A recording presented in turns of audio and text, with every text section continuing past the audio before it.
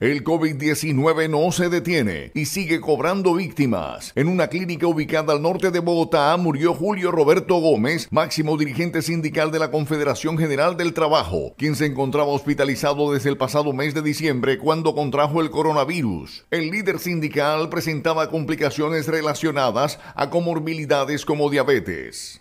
Desde la Central Unitaria de Trabajadores CUT lamentamos el fallecimiento del compañero Julio Roberto Gómez, presidente de la CGT. Resaltamos su lucha en favor de los trabajadores y en contra de las imposiciones del gobierno que no han beneficiado a los, trabajadores durante todos estos años. Por eso nuestro más sentido pésame a toda esta familia de trabajadores de la CGT y a todos los trabajadores colombianos. Ricardo Rojas Osorio, elegancia y exclusividad.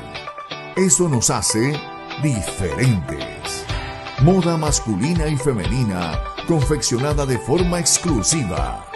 Ricardo Rojas Osorio, confección y elegancia.